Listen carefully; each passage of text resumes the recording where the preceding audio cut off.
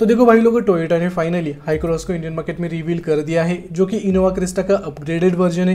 लेकिन बहुत सारे लोग कंफ्यूज है कि इनोवा क्रिस्टा को खरीदे या फिर हाई क्रॉस के साथ जाए। इसके अलावा जो लोग फॉर्चुनर को खरीदना चाहते हैं, वो भी कंफ्यूज है, क्योंकि हाई क्रॉस के अंदर आपको फॉर्चुनर से भी ज़्यादा फीचर्स देखने को मिल जाएँगे और ये कार काफ़ी ज़्यादा बेहतरीन है। तो इस वीडियो के अंदर मैं आपके सभी डाउट क्लियर करने वाला हूँ और इस वीडियो के अंदर मैं उन पाँच पॉइंट्स के बारे में डिटेल में बात करूँगा, जो कि आपको कंसिडर करने चाहिए इनोवा हाई क्रॉस को खरीदने के लिए और इनोवा क्रिस्टा और टोयोटा फॉर्चुनर यानी वो कौन से पाँच पॉइंट है जो कि इनोवा हाईक्रॉस को खास बनाते हैं एज कंपेयर टू क्रिस्टा इसके अलावा फॉर्चुनर इसकी प्राइसिंग बहुत जल्दी आने वाली है। कब इसके प्राइसेस रिवील किए जाएँगे उसके बारे में हम आगे डिटेल में बात करेंगे। लेकिन यहाँ पर हम सबसे पहले पॉइंट के बारे में बात कर लेते हैं जो कि आपको कंसिडर करना चाहिए, वो है engine specification no doubt Innova Crysta का इंजन काफ़ी ज़्यादा रिलायबल है, चाहे वो पेट्रोल चाहे वो डीजल इसके अलावा टोयोटा फॉर्चुनर का इंजन भी काफ़ी ज़्यादा रिलायबल है। मतलब इंजन की वजह से बहुत सारे लोग इनोवा क्रिस्टा को परचेस करते हैं, इसके अलावा फॉर्चुनर को परचेस करते हैं। लेकिन आपको हाईक्रॉस के अंदर माइल्ड हाइब्रिड और स्ट्रॉन्ग हाइब्रिड सिस्टम का ऑप्शन मिलेगा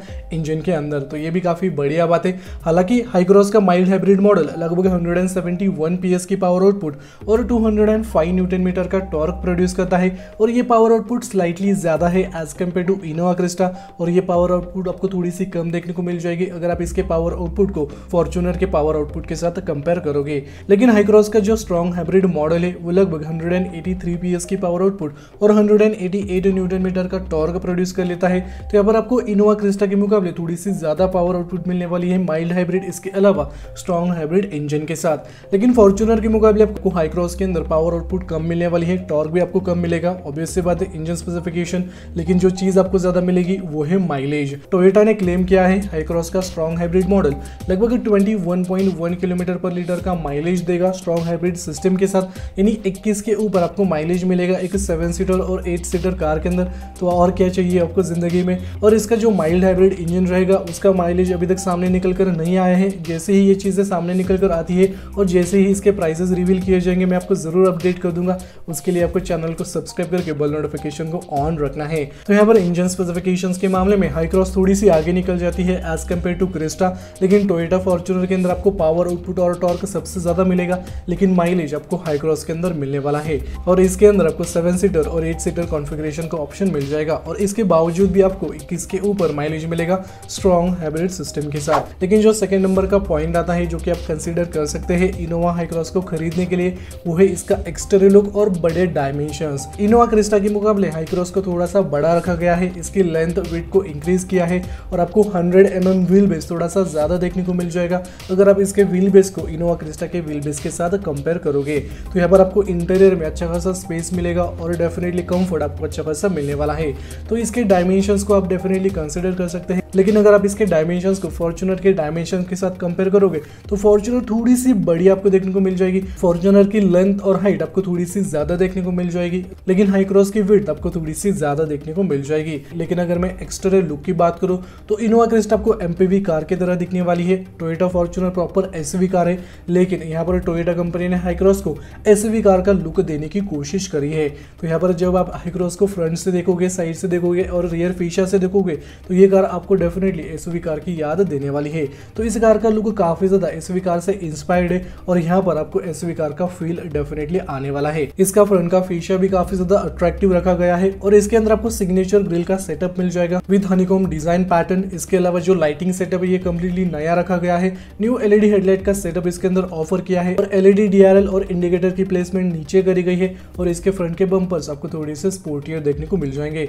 18 इंचेस अलॉय व्हील का डिज़ाइन आपको मिल जाएगा। अलॉय व्हील का डिज़ाइन भी काफ़ी नया रखा है और इसका साइड का प्रोफ़ाइल आप स्क्रीन के ऊपर देख सकते हैं। ये कार साइड से भी दिखने में काफ़ी ज़्यादा बढ़िया लग रही है।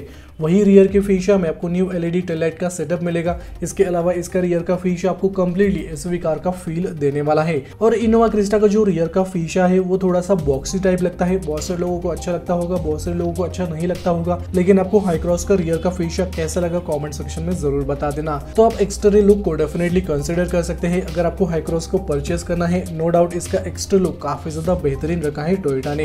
अब यहाँ पर थर्ड पॉइंट के बारे में बात कर लेते हैं, जो कि काफ़ी ज़्यादा इंपॉर्टेंट है, वो है इसका इंटीरियर देखो टोयोटा ने काफ़ी नया इंटीरियर रखा है। यहाँ पर आपको काफ़ी नए डिज़ाइन एलिमेंट्स देखने को मिल जाएँगे इंटीरियर में, और सबसे इंपॉर्टेंट चीज़ आपको कंफर्ट वही नेक्स्ट लेवल देखने को मिल जाएगा। टोयोटा ने इस कार को सेवन सीटर और एट सीटर कॉन्फ़िगरेशन के साथ उतारा है। आपको सेवन सीटर कॉन्फ़िगरेशन के साथ दो कैप्टन सीट्स मिल जाएँगी, और ये दोनों ही कैप्टन सीट्स इलेक्ट्रिकली एडजस्टेबल हो जाती है, और बहुत सारे फीचर्स को ऑफ़र किया है यहाँ पर टोयोटा कंपनी ने। यानी यहाँ पर आपको कंफर्ट के हिसाब से कोई भी दिक्कत नहीं आने वाली। इसके अलावा आपको डैशबोर्ड कंप्लीटली नया देखने को मिल जाएगा। टेन इंच का बड़ा touch screen infotainment system offer किया है, जो कि सपोर्ट करता है एंड्रॉइड ऑटो और एप्पल कारप्ले को। इसके अलावा आपको लेदर की फिनिशिंग मिलेगी डैशबोर्ड के ऊपर सीट्स के ऊपर अपल्स्ट्री और आर्मरेस्ट के ऊपर। इसके अलावा two way zone automatic climate control का ऑप्शन आपको मिलेगा हाईक्रॉस के अंदर। और इसका मतलब ये होता है कि फ्रंट के पैसेंजर अपने हिसाब से टेम्परेचर को एडजस्ट कर सकते हैं। सेकेंड रो के पैसेंजर अपने हिसाब से टेम्परेचर को एडजस्ट कर सकते हैं। तो यहाँ पर अलग अलग टेम्परेचर सेटिंग का ऑप्शन आपको मिलेगा हाईक्रॉस के अंदर। तो ये भी काफ़ी बढ़िया बात है और सबसे इंपॉर्टेंट चीज़ आपको हाईक्रॉस के अंदर बड़ा सा पैनोरामिक सनरूफ का ऑप्शन मिल जाएगा। अभी फ़िलहाल के लिए आपको इनोवा क्रिस्टा और टोयोटा फॉर्चुनर के अंदर सनरूफ का ऑप्शन नहीं मिलेगा, लेकिन टोयोटा ने हाईक्रॉस के अंदर काफ़ी बड़ा पैनोरामिक सनरूफ का ऑप्शन दिया हुआ है। तो डेफिनेटली इसकी वजह से आप इस कार को कंसिडर कर सकते हैं। इसके अलावा एम्बियंट मूड लाइटिंग का ऑप्शन आपको मिलेगा। 360 डिग्री कैमरा का ऑप्शन दिया हुआ है, जो कि फॉर्चुनर के अंदर और इनोवा क्रिस्टा के अंदर नहीं दिया जाता। इसके अलावा गाने सुनने के लिए आपको JBL के नौ स्पीकर्स मिल जाएँगे। और ढेर सारे प्रीमियम फीचर्स टोयोटा ने हाईक्रॉस के अंदर ऑफ़र करे हैं। और इन फीचर्स को देखने के बाद आप डेफिनेटली हाईक्रॉस के साथ जा सकते हैं। मेरे हिसाब से ये काफ़ी बढ़िया फीचर्स ऑफ़र करे हैं टोयोटा ने। लेकिन प्रीवियसली जो इनोवा क्रिस्टा थी, इसके अलावा फॉर्चुनर थी, उनके अंदर उतने एडवांस लेवल के फीचर्स नहीं आते थे।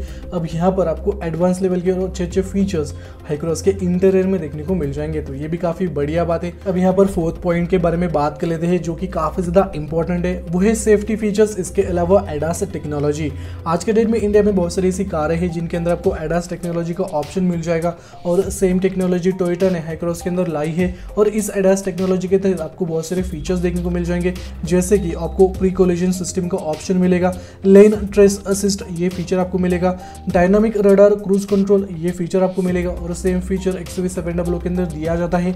इसके अलावा ब्लाइंड स्पॉट मॉनिटरिंग सिस्टम का ऑप्शन आपको मिलेगा। ऑटो हाई बीम और ढेर सारे फीचर्स आपको इस कार के अंदर देखने को मिलने वाले हैं। तो यहाँ पर आपको सेफ्टी के हिसाब से कोई भी दिक्कत नहीं आने वाली और टोयोटा ने इस कार के अंदर सात एयरबैग्स का ऑप्शन भी दिया हुआ है। तो यहाँ पर आपको अच्छे खासे एयरबैग्स मिल जाएँगे। तो यहाँ पर अडास टेक्नोलॉजी आपको आज के डेट में इनोवा क्रिस्टा और टोयोटा फॉर्चुनर के अंदर नहीं मिलेगी, लेकिन हाईक्रॉस के अंदर आपको सेम टेक्नोलॉजी का ऑप्शन मिलने वाला है। अगर आपका बजट 20 लाख रुपए के ऊपर है, अगर आपका बजट 30 लाख रुपए के ऊपर है तो डेफिनेटली आप इस कार को कंसिडर कर सकते हैं, क्योंकि हमारा जो फिफ्थ नंबर का पॉइंट है, वो है प्राइसिंग आप सभी लोगों को पता है इनोवा क्रिस्टा की प्राइसिंग कितनी है? इसके अलावा फॉर्चुनर का जो टॉप मॉडल है, वो लगभग साठ लाख रुपए तक चला जाता है, लेकिन साठ लाख रुपए देने के बावजूद भी उसके अंदर उतने हाई लेवल के फीचर्स नहीं आते, लेकिन फिर भी लुक आपको अच्छा खासा देखने को मिल जाएगा. और यहाँ पर इनोवा हाईक्रॉस की कीमत जो एक्सपेक्टेड प्राइस बताई जा रही है, वो लगभग बीस या फिर पच्चीस लाख रुपए से शुरू हो सकती है. ये एक्सपेक्टेड प्राइस बताई जा रही है, लेकिन मेरे हिसाब से इस कार की कीमत थोड़ी सी ज़्यादा ही रहेगी, क्योंकि टोयोटा को काफ़ी ज़्यादा टैक्स पे करना पड़ता है इंडियन गवर्नमेंट को। उसी वजह से टोयोटा अपनी कारों की कीमत काफ़ी ज़्यादा रखती है। और वही एक रीज़न है जिसकी वजह से आपको टोयोटा इनोवा क्रिस्टा की कीमत, इसके अलावा फॉर्चुनर की कीमत सबसे ज़्यादा देखने को मिल जाएगी। तो यहाँ पर बीस या फिर पच्चीस लाख रुपए से इस कार की कीमत शुरू हो सकती है। ये एक्सपेक्टेड प्राइसेस बताए जा रहे हैं। आपको क्या लगता है इनोवा हाईक्रॉस की कीमत कितनी होनी चाहिए? कॉमेंट सेक्शन में ज़रूर बता देना। टोयोटा की फॉर्चुनर इनोवा क्रिस्टा या फिर हाईक्रॉस इन दिनों में से आपको कौन सी कार अच्छी लगी? कॉमेंट सेक्शन में ज़रूर बता देना। और हाँ ये वीडियो अपने सभी दोस्तों के साथ और परिवार वालों के साथ ज़रूर शेयर कीजिएगा, जिनको आने वाले समय में इनोवा क्रिस्टा या फिर फॉर्चुनर या फिर हाईक्रॉस को परचेज करना है, ताकि उनके सभी डाउट क्लियर हो जाए। वीडियो अच्छा लगा हो तो ज़रूर इस वीडियो को लाइक कर देना। चैनल पर नए हो तो सब्सक्राइब करके बल नोटिफिकेशन का ज़रूर कर लेना।